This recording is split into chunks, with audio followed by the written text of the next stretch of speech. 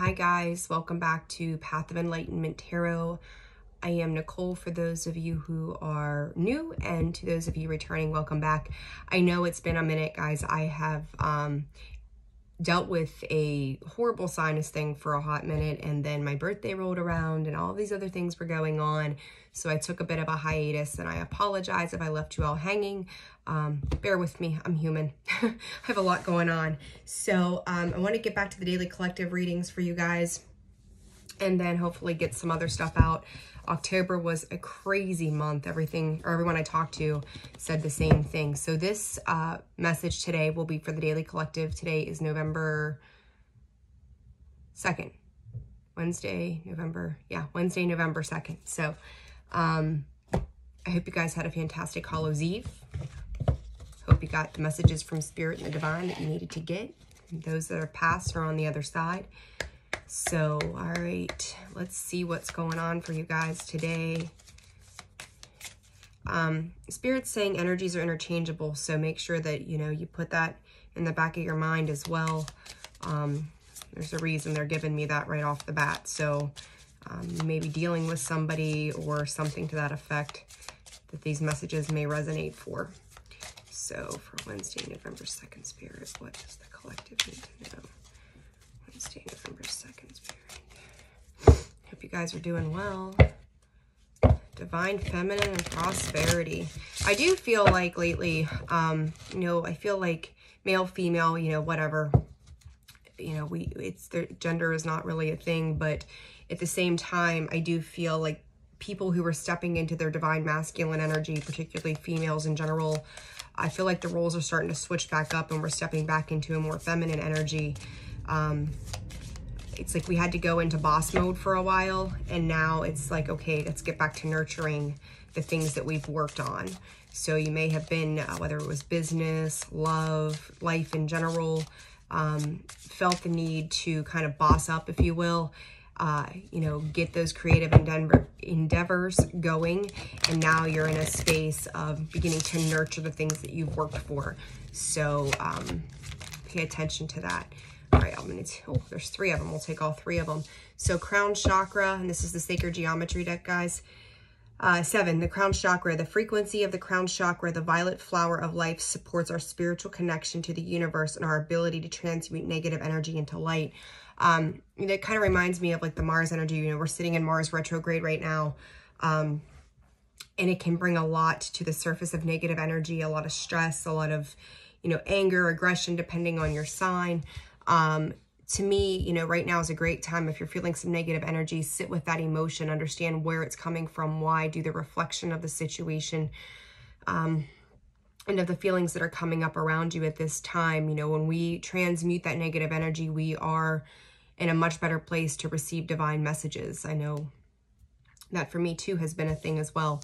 Uh, 31, magic. The frequency of magic supports our intrinsic ability to grow and expand beyond this moment to move toward possibilities and expressions that are so grand and profound as we as, as grand and as profound as we can imagine. All that is required is our belief in their manifestation.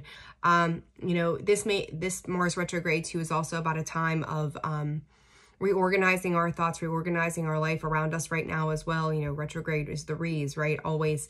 Um, but it all depends on what's in retrograde as well as, um, you know, our sign, all the things that line up accordingly.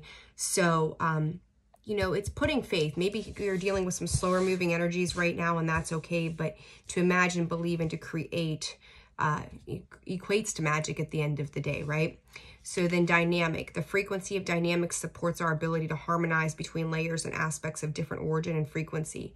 It helps us to put together a reality that is made up of many different elements, both familiar and completely new, with ease, grace, and great joy. And again, they're then breaking down to a five.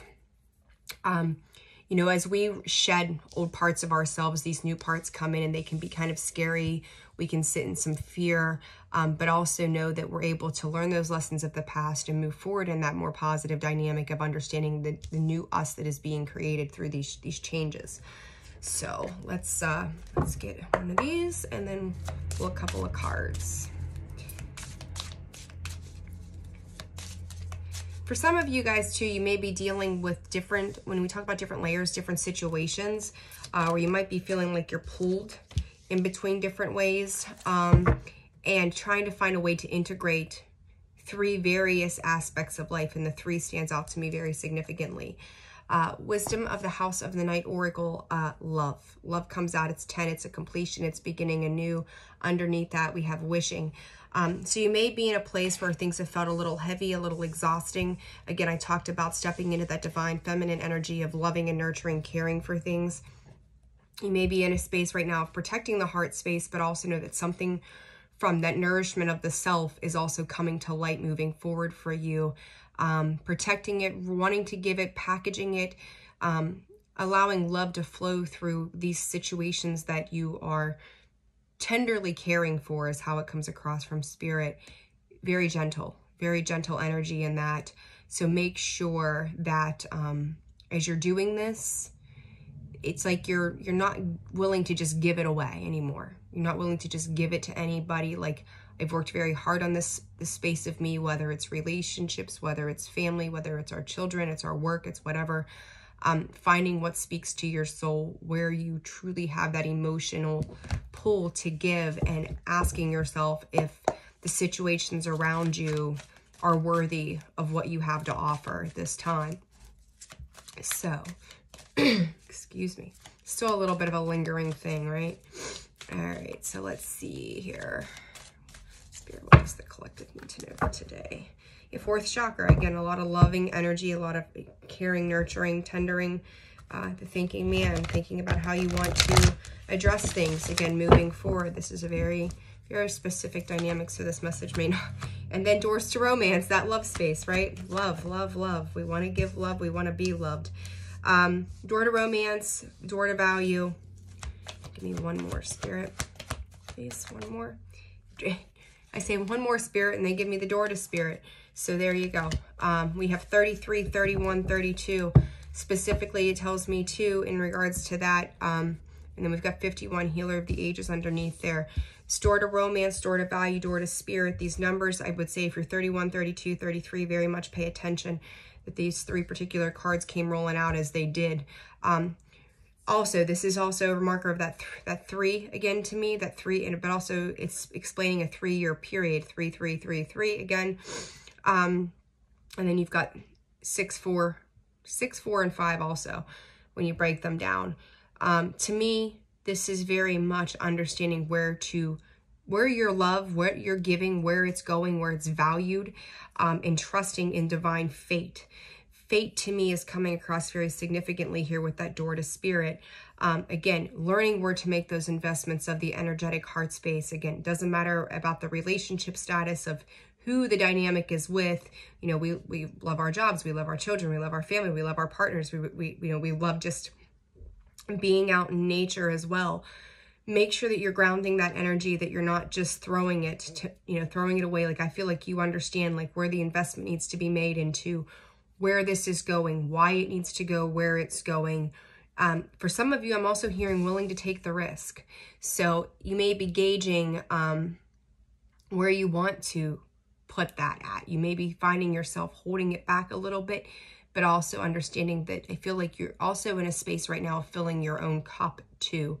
Um, knowing that the right thing will come along in the right time.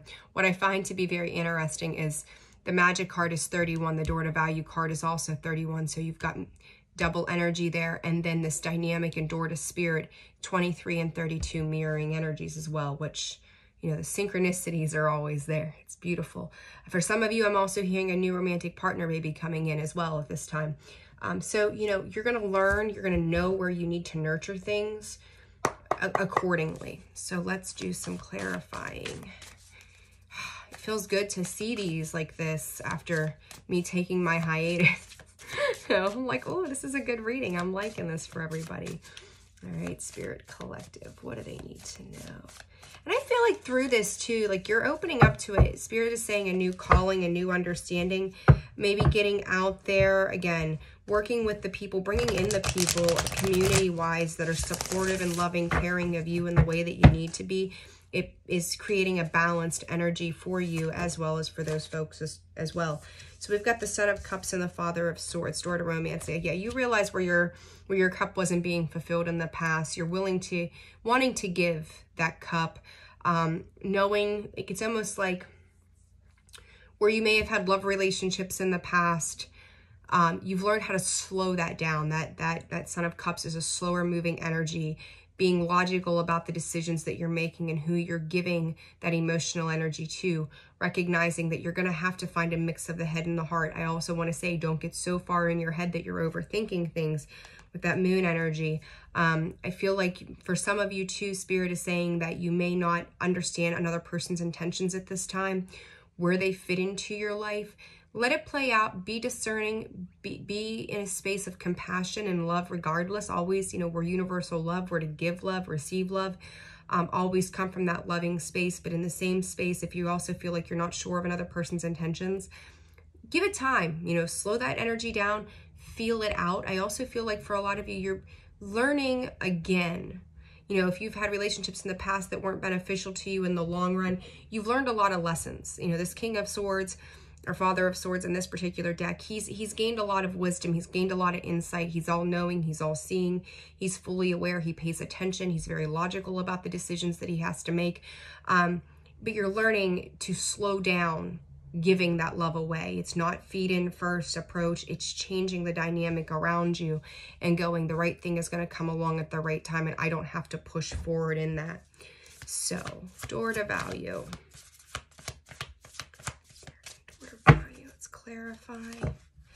I would say hone back on the finances. You may also be be um, trying to balance out some financial aspects at this time too.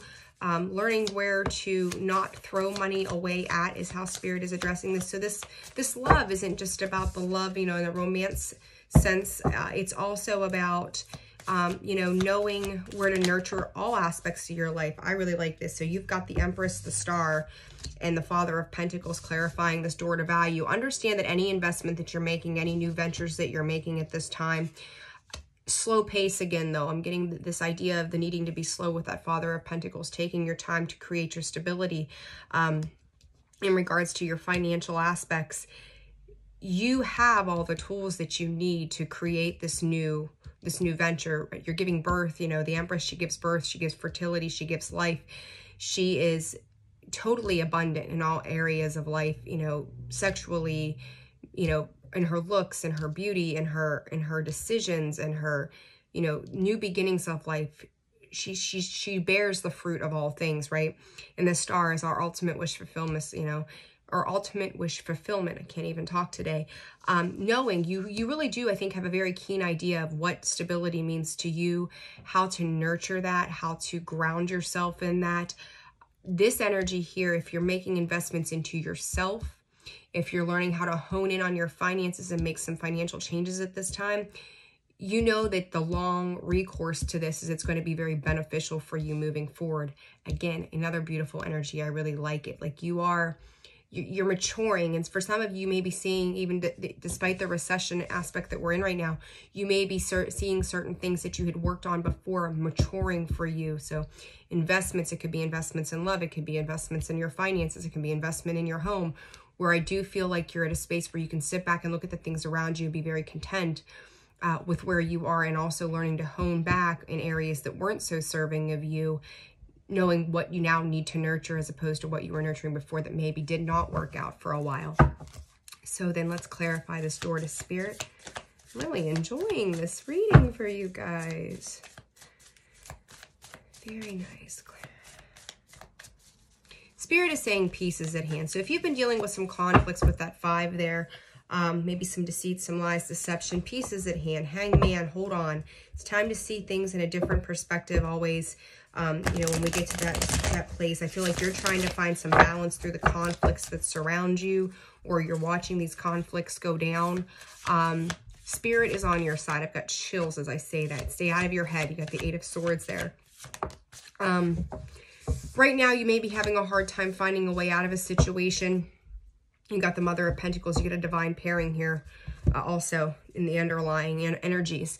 Um, so you're, to me, you're being very, very supported in your in, in the realm of you know, your home, your stability, the abundance that you carry forward, the Son of Wands. You may be dealing with somebody who's a little bit sly, a little bit slick, trying to manipulate some energies that are around you. But I want to just tell you, you are guided, you are being protected. You've got that, that dove there on the card. It's coming in to your aid at this time. So if you feel like you're dealing with somebody who's kind of playing some games, they're being manipulative about things, um, that Son of Wands to me, sometimes he's, he's you know, the olive branch. Other times he's a, a slithering SOB. And that's kind of what I'm getting with this, with this Eight of Swords. It is putting you in um, this mental prison, basically, right? Like you're feeling trapped, you're feeling stuck, you feel like you're maybe not gaining any growth at this time. But I think that there's more behind the scenes that is happening for you that maybe you cannot see at this time that will come in and create a space of freedom in this. So just really be discerning that this, whoever it is that you're dealing with, the situation that you're dealing with, um, they're trying to make it more difficult for you. But I also think that you recognize there's other choices. There's another way of doing things. Uh, and you, as long as you stay out of that headspace and have some clarity around you, um, you know, keeping that mind at ease, Spirit's going to come in and provide you the information that you need. And I do believe for some of you too, depending on what you're dealing with, um, there's a there's a very there's a piece of the puzzle that's kind of like right in front of your face. You may not see it yet. Make sure you're paying attention uh, to the messages that you're receiving via spirit. Make sure that you're giving a focus to detail. Give attention, you know, to detail right now. Um, I think that's going to be very important to create some further abundance where whatever this situation is, it's creating some internal conflict for you. Um, Spirit is saying the wheel is turning.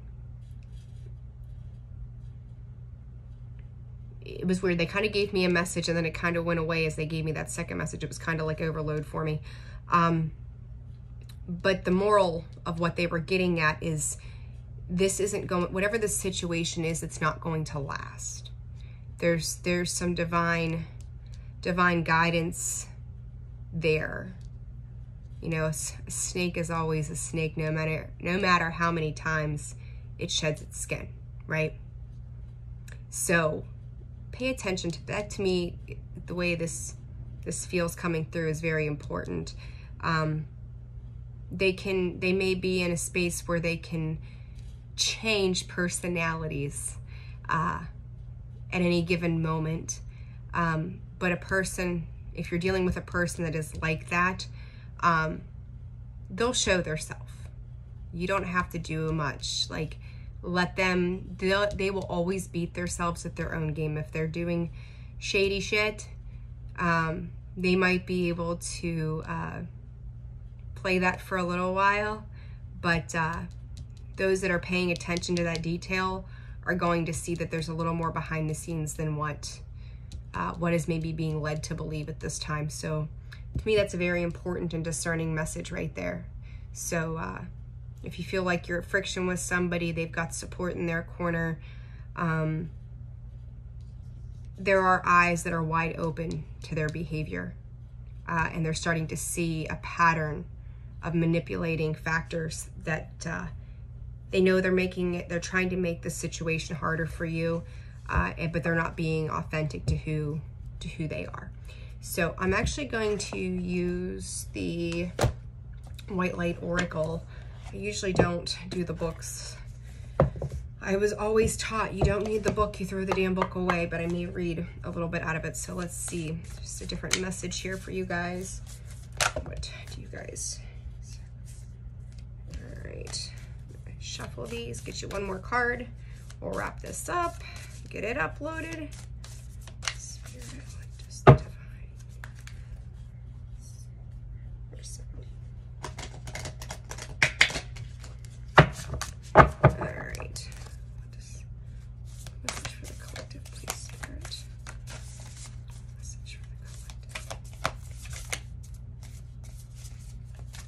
Spirit is also saying they're just an opportunist.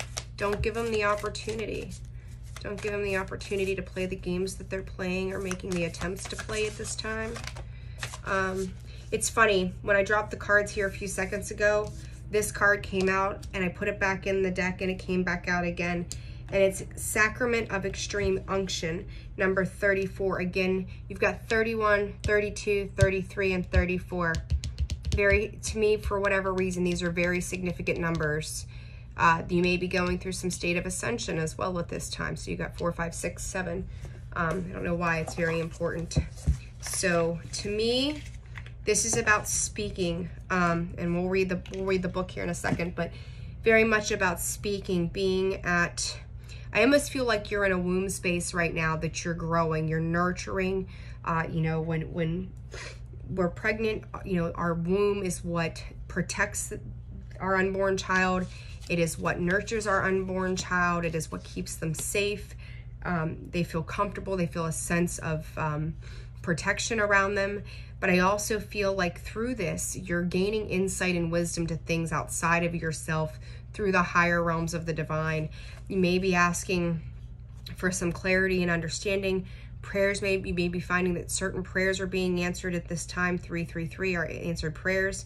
Um, learning to speak, learning to clear the, the throat chakra as well. So you've been dealing with illness and things like that. You maybe feel like you're starting to get some relief. Things are starting to open up for you. Um, but I feel like there's a lot of energy pulling, pulling to the divine space as well at this time. So let's see, let's see what this says and see how these go hand in hand. Um, your heart knows how to let go so you can find peace. And I talked about that peace. You may be finding peace right there. It is. It is time for you to experience spiritual closure. A beautiful new reality is opening up for you. Entering it requires you to release your attachment to the past. You have been inwardly preparing for a powerful rebirth. We talked about that womb, right? Now is the time to trust in what is meant for you and move toward it with an open, trusting heart and peaceful mind. Again, staying out of that Eight of Swords energy, right? Uh, so I'll read a little bit of this to you. Uh, an ideal world, we would finish our inner work, be completely healed, check it off the list, and move on without any issues from the past intruding into our present life. In a more realistic view, we do our best to muddle through, gaining enough understanding and healing to attain some degree of closure and move on as best as we can, flickering off remnants of the past which can arise even while, whilst we are doing our best to let go.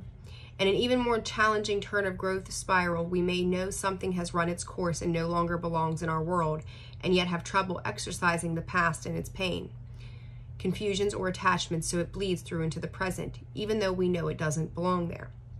To avoid the taint of the past causing unnecessary issues in the present, the oracle of the sacrament, sacrament of extreme unction brings powerful spiritual last rites so you can be cleansed and liberated into the fullness of your next phase. In the Catholic tradition, extreme unction is performed at the time of physical passing to cleanse the soul and allow it to gracefully leave the body and enter the afterlife.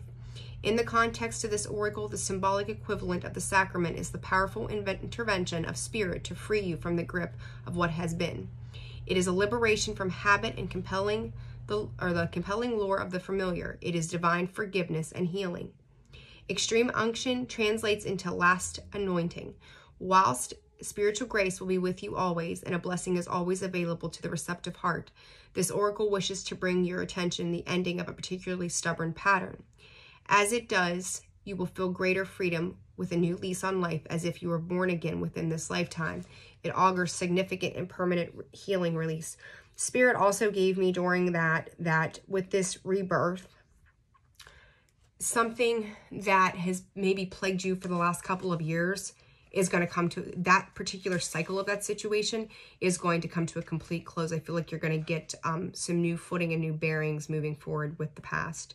Uh, as the expression goes, every saint has a past and every sinner, oops, skipped page, every sinner, oh shit, what did I do? There we go, has a future. This oracle encourage, encourages you to embrace your future and let go of the emotional and psychological burdens you have been carrying for yourself and likely for many others, ancestors and more for far too long. Sometimes we martyr ourselves to the pain of the past or even attempt to carry the suffering of others, holding it within our hearts as if we can alleviate that burden of another or create healing. All that happens in such instances is that suffering increases. Let yourself off the hook of guilt, shame, or blame. Give yourself permission to acknowledge that all people, including you, have done their best. The universe is offering you a powerful spiritual gift. Your heart knows how to receive it. let go. There is no turning back. It's time to start anew. It is time to be happy and free. And I just want to show these. You know, we talked about that space, that freedom, that love, right? Like there, these two cards to me are so open. So very open and beautiful. So, all right, guys, I hope this provided some insight and wisdom to you. Thought that was a beautiful message. So, uh, yeah, good stuff. I'm digging it. Good, good, good, good, good. All right, guys, if you found this video resonates for you, please hit that like button. Subscribe to the channel if you've not already done so. It's going to give you notifications uh, each time a video gets posted, so make sure you hit that bell. That bell is the thing that, that does the trick, I guess. Uh, so I'm wishing you guys a wonderful Wednesday. Happy hump day. And I'll see you guys on the next one. Have a good day. Bye-bye.